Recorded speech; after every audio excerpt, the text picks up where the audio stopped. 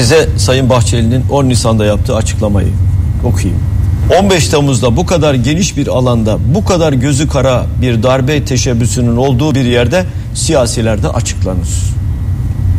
Fakat baylok kullananlardan şu an için çok sayıda asker, yargı mensubu var. 100 bini aşkın kullanıcıdan bahsediliyor. Bunların içinde siyasiler kimdir söylenmiyor. Zaman içinde ortaya çıkacak. FETÖ'cü diye çikolatacı var. Baklavacı var.